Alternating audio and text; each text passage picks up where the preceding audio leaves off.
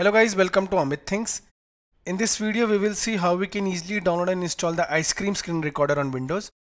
For that, uh, open the web browser. I am using Chrome. You can use uh, any web browser. Here and type ice cream screen recorder and press enter. On pressing enter, the official website is visible. That is icecreamapps.com. Click on it.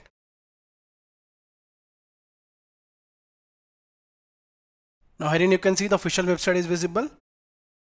Directly click on free download to download it.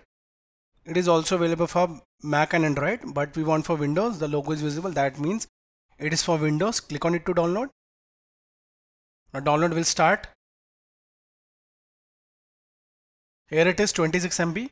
Let's wait. Now download completed. The exe file is visible. Double click on it to install. Minimize. Now auto download will start. Here's the setup. You can select the language. I'll keep it English and I'll click on OK. I accept the agreement. Click on next. It will get installed under the program files. You can change the location from here, but keep it as it is. It will take only 80 MB. Click on next. Now it will also create a desktop shortcut, a quick launch shortcut. Okay, it's fine. Click on next ready to install? Click on install. It will now install.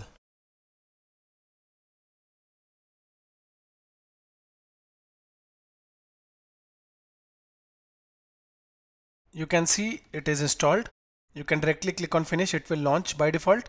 Or you can go to start and type ice cream screen recorder and it will open. You can directly click on open from here.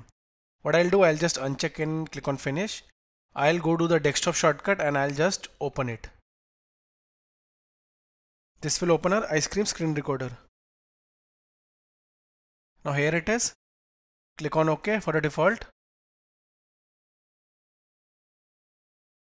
I'll select I'll select enlarged view here. Here, click on OK. From here in you can directly start your screen recording journey. Okay, by selecting the custom area or full screen. Okay, with that you can also take screenshots and catch and capture audio. So guys in this video we saw how we can easily download and install ice cream screen recorder on Windows. Thank you for watching the video.